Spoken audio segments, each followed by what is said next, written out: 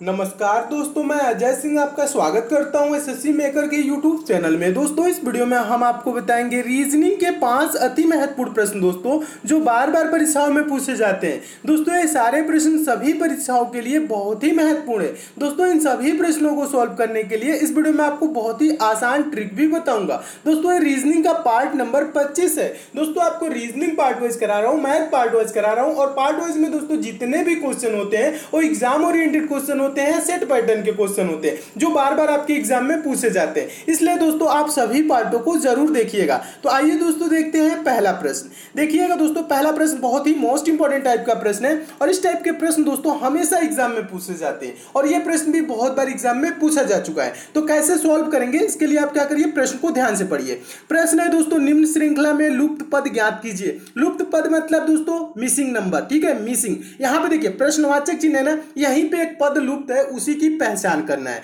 तो कैसे पहचान करेंगे दोस्तों? देखिए, श्रृंखला से रिलेटेड क्वेश्चन है। तो आप क्या करेंगे दोस्तों? देखेंगे सीरीज़ को कैसे आगे ये सीरीज़ चल रहा है, ठीक है? तो देखिए देखिए मैं आपको समझाने की कोशिश कर रहा हूँ, समझिएगा। यहाँ पे देखिए ए टेन है ई फोर्टी है आई थर्टी एट है ओ वन फिफ्टी टू है। आगे प्रश्नवाचक चिन्ह है। तो प्रश्नवाचक चिन्ह पे कौन सा पद होगा? ये बताना है। दोस्तों, कभी भी अगर जो क्वेश्चन ऐसे आए, जैसे यहाँ पे क्या है alphabetical A B C D है ना ए है, उसके बाद क्या है, अंक है, यानी कि दस है। फिर ई है, फिर क्या है? अंक है। फिर दोस्तों आई है, फिर क्या है? अंक है। यानी कि दोस्तों ए बी सी डी और नंबर दोनों मिक्स करके आए। तो प्रश्न को आप दोस्तों कैसे सॉल्व कीजिएगा? मैं समझाने की कोशिश कर रहा हूँ, समझिएगा।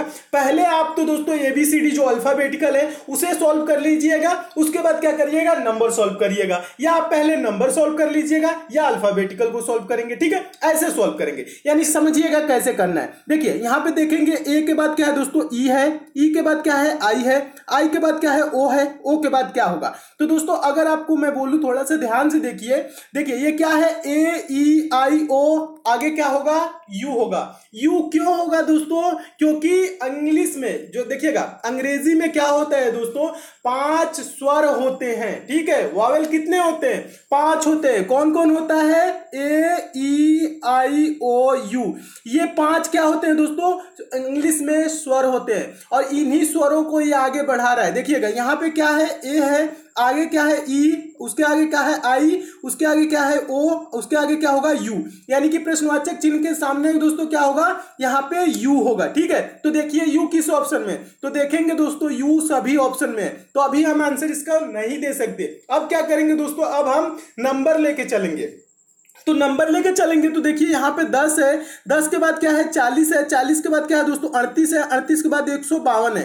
तो दोस्तों अगर मैं बोलूँ थोड़ा सा ध्यान से देखिए तो यहाँ पे थोड़ा सा आपको क्लू मिल जाएगा। यहाँ दस के बाद चालीस है। यानी क्या किया है दोस्तों? गुने चार किया है। समझ रहे ना? दस चौको चालीस। और फिर क्या किया है दोस्तों? माइनस दो कर लिया है। चालीस में से दो घटा लेंगे तो क्या हो जाएगा? अड़तीस हो जाएगा। फिर क्या किया है दोस्तों? अड़तीस गुने चार किया है। अड़तीस गुने चार दोस्तों करेंगे तो क्या होगा? एक सौ बावन होगा। एक सौ बावन लिखा है। अब क्या करेंगे दोस्तों? गुने चार हुआ तो माइनस दो कर लेंगे। एक सौ बावन में से दो घटाएँगे तो दोस्तों क्या होगा? एक सौ पचास होगा। तो इसका आंसर क्या होगा दोस्तों? यू एक सौ पचास। अब देखिए U 150 किस ऑप्शन में है? तो देखेंगे U 150 ऑप्शन नंबर ए में दिया है। तो आपका ऑप्शन नंबर ए दोस्तों क्या हो जाएगा? सही हो जाएगा। तो मैं उम्मीद करता हूँ दोस्तों, आप इस प्रश्न को बहुत अच्छे तरीके से समझ गए होंगे और इस टाइप के क्वेश्चन आपके एग्ज़ाम में आएगा तो आप अच्छे से सॉल्व कर लेंगे। देखिए, ज़्यादा कुछ भी नहीं करना है। A E I O you फिर दस चौको चालीस चालीस में से दो घटा दिया। फिर अड़तीस चौको एक सौ बावन, एक सौ बावन में से दो घटा दिया। क्या हो गया दोस्तों? एक सौ पचास, यानी कि यू एक सौ पचास ऑप्शन नंबर ए सही। बस इतना ही करना है, ज़्यादा कुछ नहीं करना है, ठीक है? तो मैं उम्मीद करता हूँ इस प्रश्न को आप अच्छे से समझ गए होंगे। चलिए, अगला क्वेश्चन देखते हैं, दूसरा क्वेश्चन देखिएगा, दूसरा क्वेश्चन भी मोस्ट इंपॉर्टेंट टाइप का क्वेश्चन है, और यह भी प्रश्न बहुत बार एग्ज़ाम में पूछा जा चुका है। ऐसे क्वेश्चन आए तो कैसे सॉल्व करेंगे? पढ़िएगा क्वेश्चन को ध्यान से। क्वेश्चन है नीचे दी गई श्रृंखला में अगला संख्या ज्ञात करे। ये दोस्तों एक सीरीज़ है और यहाँ पे प्रश्नवाचक चिन्ह यही प्रश्नवाचक चिन्ह पे आपको बताना है कि कौन सी संख्या आएगी। तो दोस्तों सीरीज़ से रिलेटेड आपके एग्ज़ाम में क्वेश्चन कभी भी आएगा तो आप क्या करेंगे? सीरीज़ के संख्याओं को ध्यान से देखेंगे कैसे सीरीज़ आगे चल रही है। कहने का मतलब है दोस्तों यहाँ पे एक है, फिर पाँच, फिर चौदह, फिर तीस, फिर पचपन, फिर इक्यानवे, फिर प्रश्नवाचक चिन्ह। ठीक है? तो देखिए, यहाँ से तो आपको देखना है। एक से क्या हुआ? पाँच। कितने की वृद्धि हुआ है? चार की, ठीक है? फिर पाँच से क्या है दोस्तों? चौदह। कितने की वृद्धि हुआ है दोस्तों? नौ की। चौदह से दोस्तों क्या हुआ? तीस। कितने की वृद्धि हुआ दोस्तों? सोलह की। तीस से क्या हो गया दोस्तों? पचपन। पचपन में से तीस घटाएँगे, क्या होगा? पच्चीस। पच्चीस की वृद्धि हुआ। पचपन से क्या हुआ दोस्तों? इक्यानवे। पचपन से इक्यानवे हुआ तो कितने की वृद्धि हुआ दोस्तों? छत्तीस। यहाँ पे थोड़ा सा अब आपको ध्यान देना है। ये देखिए, ये जो दोस्तों चार है ना, यहाँ पे क्या है दोस्तों? ये चार है। किसका स्क्वायर है? दो का स्क्वायर है। ये नौ, तीन का स्क्वायर है। ये सोलह, चार का स्क्वायर है। पच्चीस, पाँच का स्क्वायर है। ये छत्तीस, छह का स्क्वायर है। आगे क्या होगा दोस्तों? सात का स्क्वायर सात का स्क्वायर क्या होगा दोस्तों? सात का स्क्वायर होता है फोर्टी नाइन यानी कि उनचास होता है। तो इक्यानवे में दोस्तों उनचास हम क्या करेंगे? ऐड करेंगे, जोड़ेंगे। ठीक है? उनचास जब दोस्तों जोड़ेंगे इक्यानवे में तो क्या हो जाएगा दोस्तों? एक चालीस हो जाएगा। क्या होगा दोस्तों? 140 हो जाएगा। यानी प्रश्नवाचक चिन्ह पे क्या होगा दोस्तों? 140 होगा। और 140 दोस्तों किस ऑप्शन में है? तो देखेंगे ऑप्शन नंबर डी में। तो आपका ऑप्शन नंबर डी दोस्तों क्या हो जाएगा? सही हो जाएगा। तो मैं उम्मीद करता हूँ दोस्तों, आप इस प्रश्न को भी अच्छे से समझ गए कभी कभी क्या होता है दोस्तों? देखिए, यहाँ पे तो स्क्वायर चला है ना?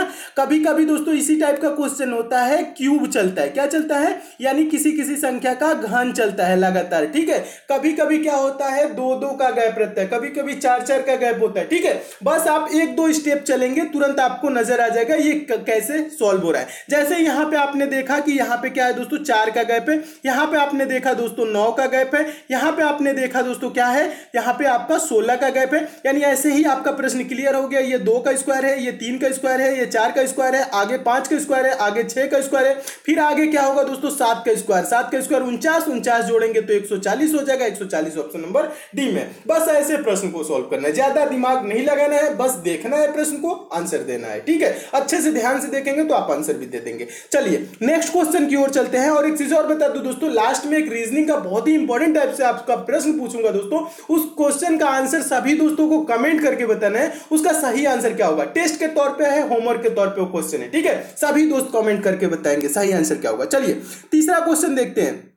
देखिएगा, तीसरा क्वेश्चन मोस्ट इंपॉर्टेंट क्वेश्चन है। क्यों मोस्ट इंपॉर्टेंट क्वेश्चन है? क्योंकि ये बहुत बार एग्ज़ाम में पूछा जा चुका है। और ऐसे क्वेश्चन हमेशा पूछे जाते हैं। कैसे सॉल्व करेंगे? देखिएगा सेकेंडों में सॉल्व किया जाता है इस टाइप के प्रश्नों को। कैसे? तो पहले प्रश्न को ध्यान से पढ़िए। प्रश्न है, निम्न विकल्पों में से प्रश्न चिन्ह के स्थान पर आने वाली संख्या ज्ञात कीजिए। प्रश्न चिन्ह है कहाँ? यहाँ पे। यहाँ पे दोस्तों एक संख्या गायब है, ठीक है? अब यहीं पर आपको बताना है कौन सी संख्या होगी। इसके लिए क्या करेंगे? कैसे सॉल्व करेंगे? पहले पहले देखिए, दोस्तों, ऐसे क्वेश्चन है तो आपको ध्यान से देखना है। और सॉल्व करने के लिए इसमें दो तरीका हो सकता है। दोस्तों, जब कॉर्नर पे अगर जो प्रश्नवाचक चिन्ह हो मिसिंग नंबर हो, तब। क्या कर सकते हैं? जब कॉर्नर पे है तो दोस्तों, हम इसको ऐसे सॉल्व कर सकते हैं, या प्रश्न को ऐसे सॉल्व कर सकते हैं, ठीक है? यानी कहने का मतलब है, दोस्तों, हम देखेंगे आठ, दस को क्या करे कि सात आ जाए, छह, बारह को क्या करे कि नौ आ जाए, अड़तालीस, एक को क्या करे कि छप्पन आ जाए, उसी प्रकार से, दोस्तों, छत्तीस, एक को करके हम प्रश्नवाचक चिन्ह पे तो दोस्तों, यहाँ पे मैं अगर जो बोलूँ, आप आठ और दस को कुछ करिए और सात लाइए। तो सात आएगा, नहीं आएगा। यहाँ पे क्या है दोस्तों? पॉसिबिलिटी कम है। लेकिन प्रश्न को एक और तरह से सॉल्व किया जा सकता है। एक दूसरा ये वाला है, ठीक है? एक तो ऐसे सॉल्व किया। यानी कि आठ, छह, अड़तालीस को हम क्या करें कि छत्तीस आ जाए। दस, बारह, एक को क्या करें कि एक सौ चौवालीस आ जाए। उसी प्रकार से दोस्तों सात, नौ, छप्पन को क्या करें कि प्रश्नवाचक चिन्ह को संख्या आ जाए, ठीक है? तो देखिए, यहाँ पे क्या है दोस्तों? यहाँ पे पॉसिबिलिटी क्या है? ज़्यादा है। क्योंकि यहाँ पे ज़्यादा नंबर का यूज़ किया गया इस लाइन में, ठीक है? तो यानी कि ऐसे करके हम छत्तीस ला सकते हैं। कैसे ला सकते हैं छत्तीस? देखिएगा। अब मैं आपको समझा रहा हूँ। देखिए, ये दोस्तों क्या है? आठ है। ये क्या है? अड़तालीस है। अड़तालीस को दोस्तों आठ से भाग करेंगे। तो कितने बार में जाएगा दोस्तों? छह बार में। कितने बार में? छह बार में। और इस छह से क्या करेंगे? इस छह में गुणा करेंगे। छह गुने छह क्या हो जाएगा दोस्तों? छत्तीस हो जाएगा। ठीक है? क्लियर है यहाँ तक? फिर क्या करिए? देखिएगा, समझिएगा। फिर क्या करेंगे दोस्तों? 10 से 120 में भाग करेंगे। कितने बार में जाएगा दोस्तों? 12 बार में। 12 में इस 12 से गुणा कर लेंगे। तो 12 बार हम क्या हो जाएगा? 144 12 गुणे 12 करेंगे 144 हो जाएगा। यहाँ तक तो क्लियर हो गया।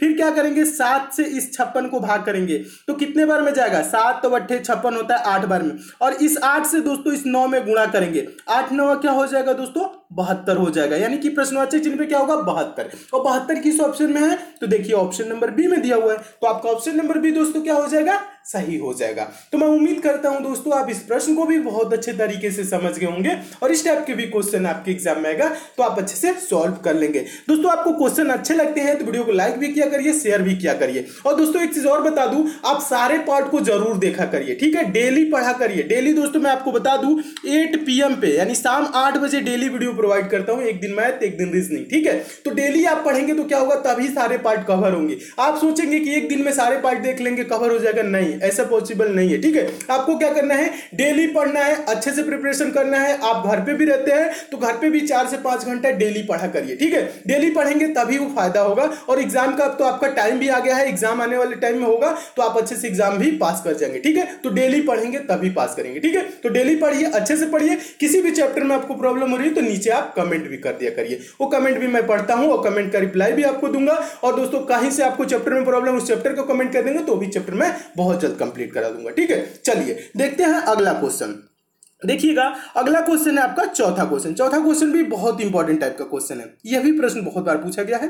क्वेश्चन है, नीचे दी गई प्रश्न में प्रश्न चिन्ह के स्थान पर कौन सी संख्या आएगी? प्रश्न चिन्ह कहाँ है? यहाँ पे। यहाँ पे कौन सी संख्या आएगी आपको बताना है। तो इसके लिए क्या करेंगे? सिंपल सी भाषा में समझिएगा। दोस्तों, ये प्रश्न पूछ रहा है। कहने का मतलब है, चार बटा सात का जो संबंध दोस्तों, सैंतीस बटा सड़सठ से, उसी प्रकार से दोस्तों, छह बटा सात का संबंध किससे होगा? यह प्रश्न पूछ रहा है। ठीक है? तो ये कैसे निकालेंगे, कैसे बताएँगे?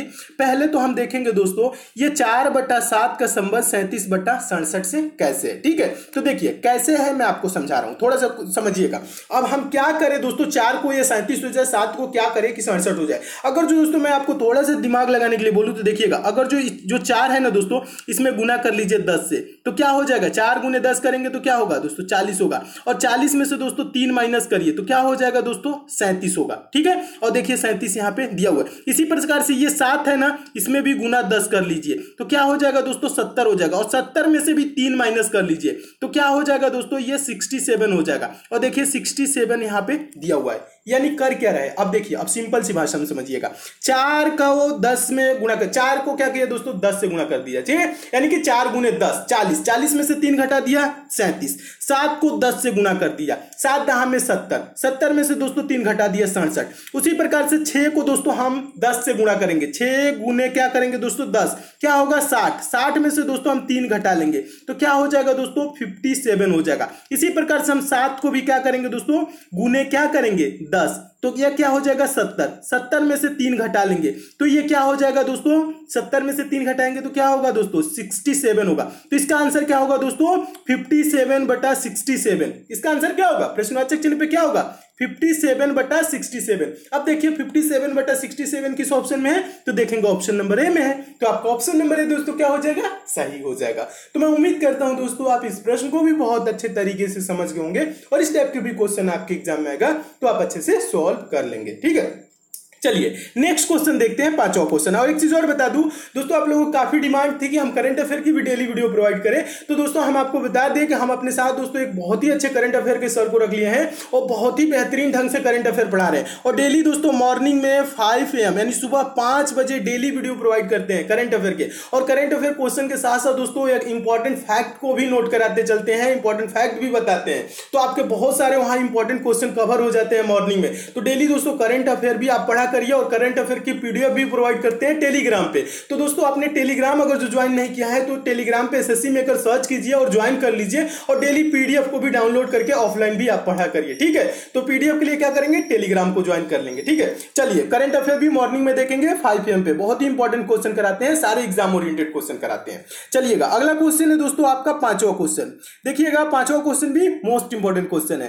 क्वेश्चन है, निम्नलिखित प्रश्न में दिए गए विकल्पों में से संबंधित संख्या को चुनिए। कहने का मतलब है दोस्तों सेवन सिक्स टू वन का जो संबंध एटी फाइव से है, उसी प्रकार से दोस्तों फाइव थ्री टू वन का संबंध किससे होगा?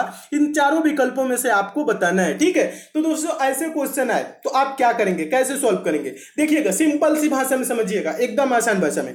यहाँ पे सात, छह, दो, एक है। इसको हम क्या करें कि दोस्तों, ये पचासी हो जाए? बस यही आपको करना है, ज़्यादा कुछ नहीं। तो देखिए, इन्हीं संख्याओं से मिलके क्या है दोस्तों, ये पचासी बना हुआ है। उसी प्रकार से दोस्तों हम इसको करके यहाँ पे लाएँगे। तो देखिए, हम देखिए क्या करेंगे। ये सात छ दो, एक। इसको देखिए, सात गुने छ गुने दो प्लस वन। यहाँ पे देखिएगा, समझिएगा सिंपल भाषा में। सात, छह के बयालीस बयालीस दुना की क्या हो जाएगा दोस्तों? चौरासी चौरासी में एक जोड़ेंगे तो क्या हो जाएगा? पचासी। समझिएगा। अब मैं आपको समझाता हूँ। अब पचासी यहाँ पे दिया हुआ है। देखिए, ये कैसे?